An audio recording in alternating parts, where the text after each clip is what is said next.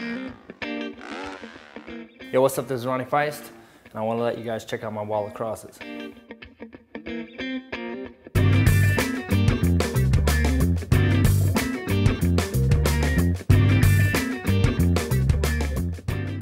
All right, so what's up, man?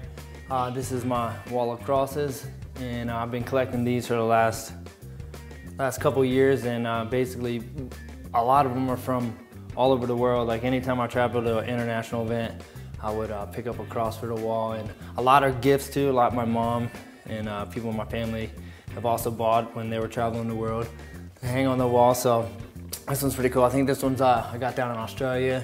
This one came from Europe. I think this one was like, you know, Spain or something.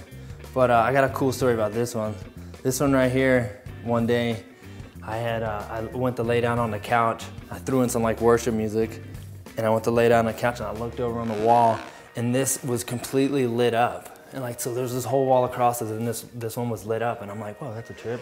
And uh, there's a, a window kind of on this wall behind you that I thought it was coming in. So I like jumped off the couch and I walked up here and I'm like, where's that light coming from? And I looked and I thought it was coming from that window and it wasn't. It was actually, the, this door was open from this bedroom and the sunlight was shining perfectly through that window or through that door, through that window, coming through that door and hitting this cross. And I was like, no, that's a trip. And I looked at it and I read, it says, I am the light of the world, John 9, 5. And I thought it was a trip. I was like, dude, what were the chances of that happening like that? So I thought that was cool.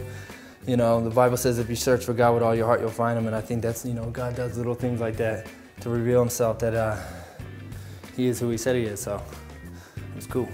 This is uh, one of my favorite ones. I just think it looks sick, dude. It's got the three nails all woven together. You know, the one for the foot, two for the hands. So I just think that's hardcore. And I actually had that painted on my helmet. I had that painted on one of my helmets like two years ago on the back because I was all pumped on it, thought it was so sick. So one of my favorite. But yeah, this is it, man. And it's uh, it's still growing. I actually got a couple more I gotta hang up. Just gotta get out my nail and hammer.